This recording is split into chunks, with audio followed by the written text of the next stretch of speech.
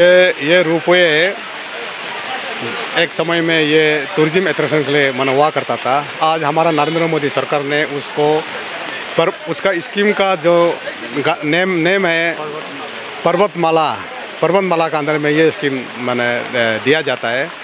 आज खास करके ये ट्रांसपोर्टेशन क्योंकि हमारा अपर सुबनसिरी में ऐसे है कि दुमपुर जो दापुर जो दो टाउन है, दापुर जो एक डिस्ट्रिक्ट हेडक्वार्टर है, दुमपुर जो एक नया टाउन है तो वहाँ में रूट कम्युनिकेशन ऐसे है कि वहाँ ऐसे घूम के जाने से कम से कम वन आवर लगता है। तो आज रूप हुए होने से दस मिनट में पहुँच जाएगा।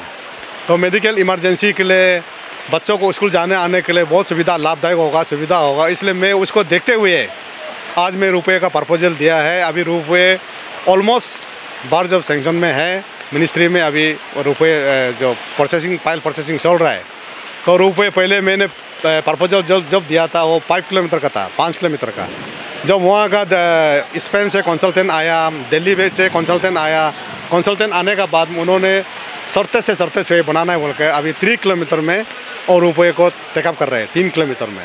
और ये रुपये बनने से हमारा लोगों को बहुत पैदामान होगा कि वहाँ में आने जाने के लिए पैदा होगा टूरिस्ट अट्रैक्शन होगा, हमारा कुछ अनएम्प्लॉयमेंट यूथ को एम्प्लॉयमेंट जनरेशन जनरेट होगा।